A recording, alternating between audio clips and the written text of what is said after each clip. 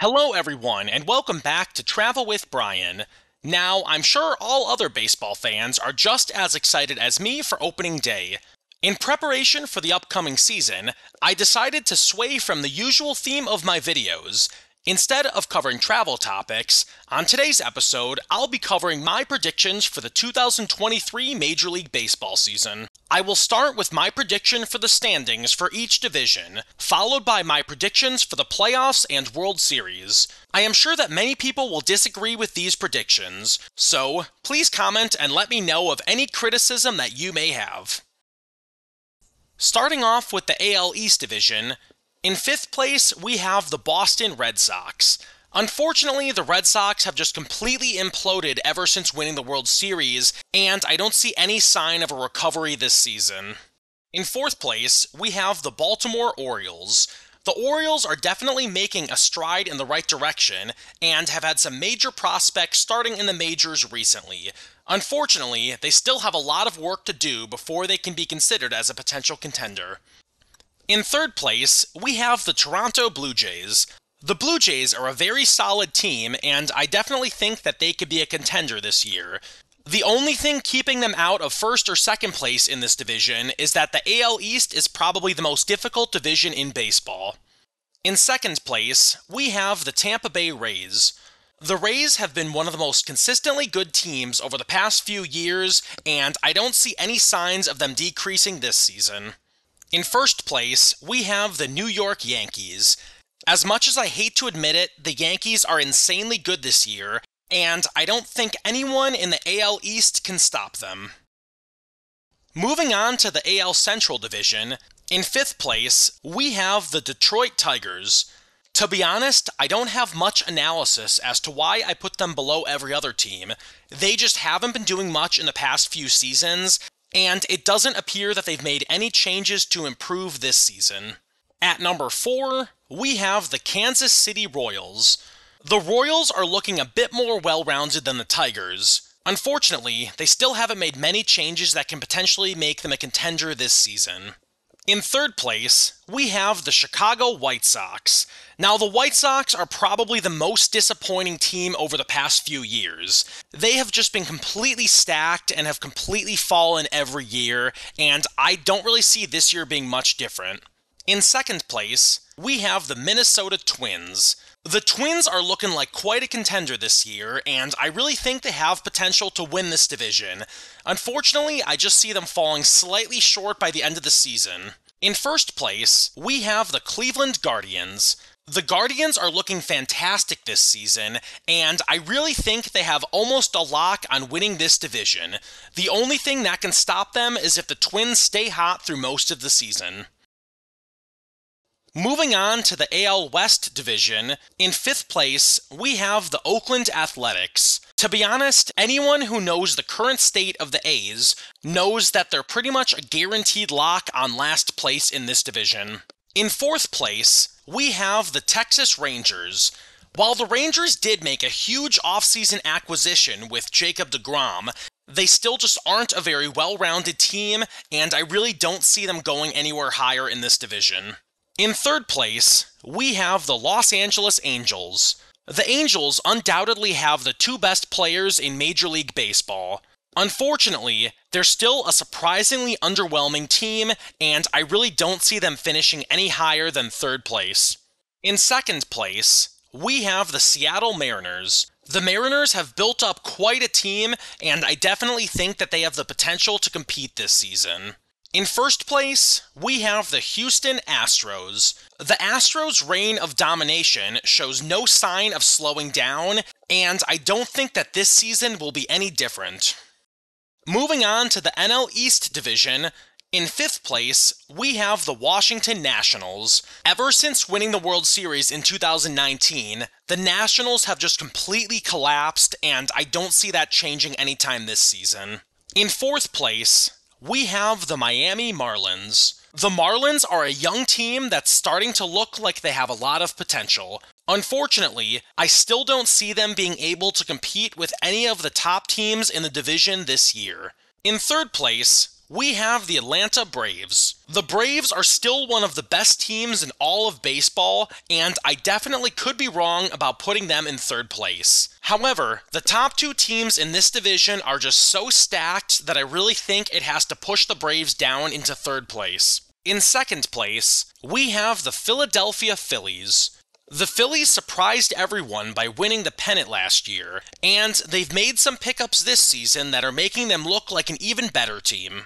And I do have to mention that I made this prediction prior to the injury to Rhys Hoskins. While I think that will definitely cause some problems for them this season, I really don't see it being significant enough to drop them out of second place. In first place, we have the New York Mets. Despite falling short in the playoffs last year, the Mets still had one of the most solid teams all last season. This offseason, they've built on that foundation with one of the most active off seasons of any team in history. While they may have lost their closer in the World Baseball Classic, I still don't think that anyone can compete with the Mets in the NL East this season. Next up, we have the NL Central Division. Now, before I get started, I do need to specify that I am a huge Cubs fan, just in case you didn't already know that. However, I tried to be as unbiased as I could when it comes to this division.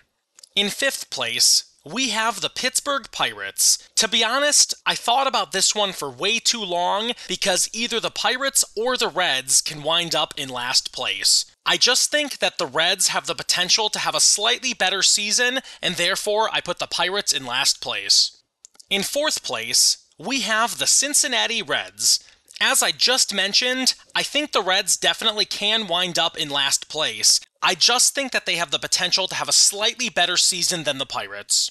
In third place, we have the Milwaukee Brewers. I'm sure I'm going to get a lot of hate for this decision. After all, the Brewers have some of the best pitchers of any team in baseball. However, their offense has been mediocre at best, and they've made very few changes to really turn the corner with their offense. Unless they can find an offensive spark, I really don't see them getting any higher than third place. In second place, we have the Chicago Cubs. Now, I'm sure this is the moment where I'm going to start getting a lot of comments about how biased I am. While I will admit that my bias may have influenced my decision making a little bit, the Cubs were one of the most active teams this offseason, and they built on what already started to look like a well rounded team by the end of last season. They still have a lot of work to do if they're ever going to compete for another World Series, but I definitely think that they have potential to finish second in the NL Central. In first place, we have the St. Louis Cardinals. As much as it pains me to admit it, the Cardinals are absolutely stacked this year, and I don't think any team in the NL Central has a chance to compete with them. Moving on to the NL West division, in fifth place, we have the Colorado Rockies. The West is similar to the Central in that I had a lot of trouble deciding on which team gets the fourth and which team gets the fifth place spot. While these two spots are anyone's guess, I think that the Diamondbacks are just a slightly better team, and therefore I put the Rockies in last place. In fourth place, we have the Arizona Diamondbacks. As I just mentioned, the Diamondbacks still have the potential to wind up in last place. I just think that they're a slightly better team than the Rockies, and therefore I put them in fourth place. In third place, we have the San Francisco Giants. While I don't necessarily think that the Giants are a bad team, I just don't see any potential that they can compete with the top two teams in this division. In second place, we have the Los Angeles Dodgers. This was probably the hardest decision that I had to make for these predictions, because the Dodgers are still looking like an insanely good team this season. While they definitely have the potential to win the division, I still think that they may fall one or two games short purely due to how great the Padres are looking this year.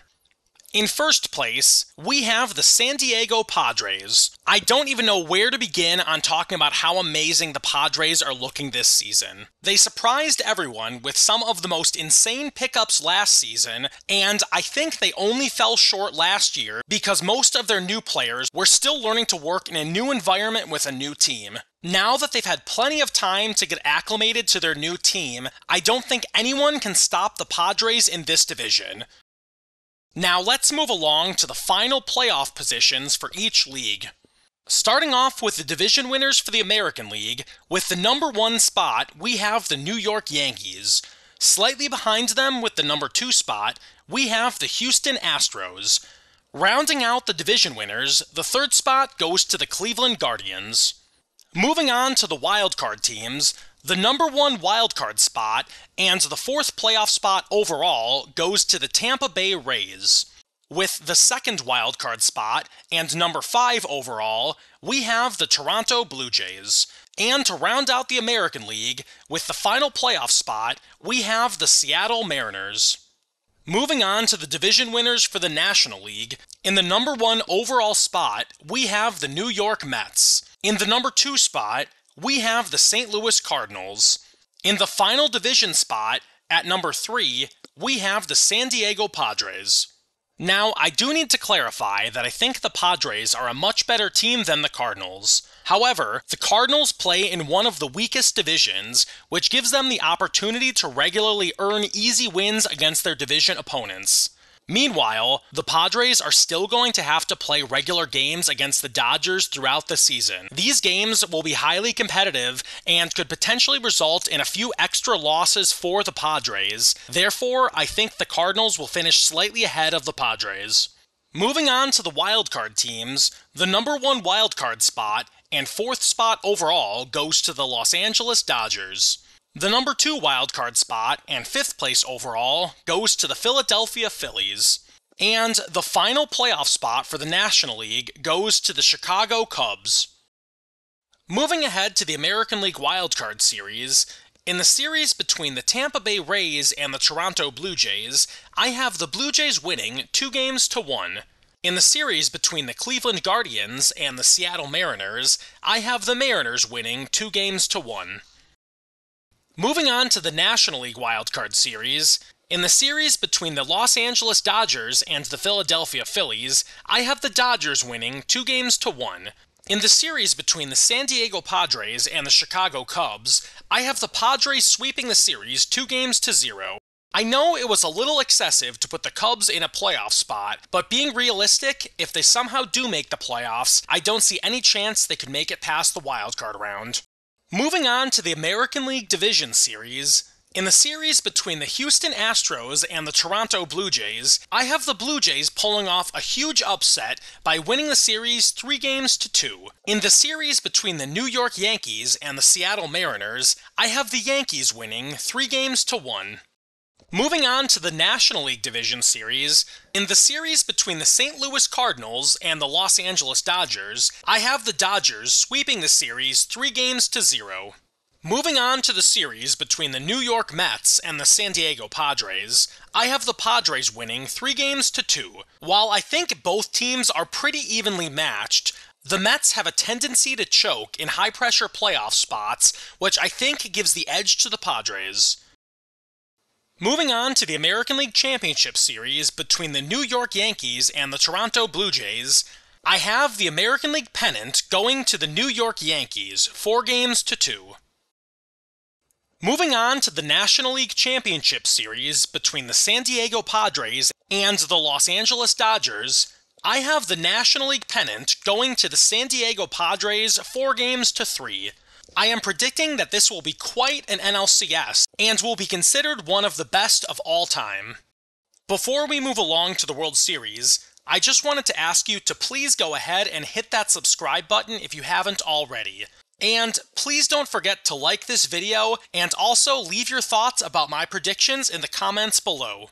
Finally, we've arrived at the 2023 World Series between the San Diego Padres and the New York Yankees. And I am predicting that the winner of this year's World Series will be. The San Diego Padres, four games to one. While the Padres are definitely going to have some challenges this season, I still believe that they are the best team in either of the two leagues. Therefore, I view them as the most likely team to win the World Series. So there you have my predictions for the 2023 Major League Baseball season. It'll be very interesting to see how many of these I actually get correct. But in the meantime, I just wanted to say thank you very much to each and every one of you for watching my video today. Until next time, this has been Travel with Brian.